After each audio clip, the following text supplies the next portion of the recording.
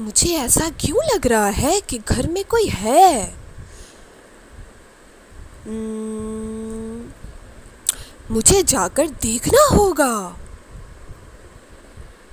मुझे पहले दरवाजे के पास से ही देखना होगा।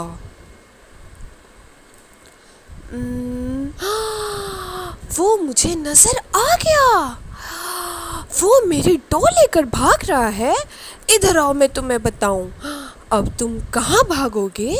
तुम मेरे डॉल लेकर जा रहे थे। तुम्हें शर्म नहीं आती? नालायक इंसान हो तुम। रुको, मैं आ रही हूँ। इधर दो मेरी डॉल, इधर दो।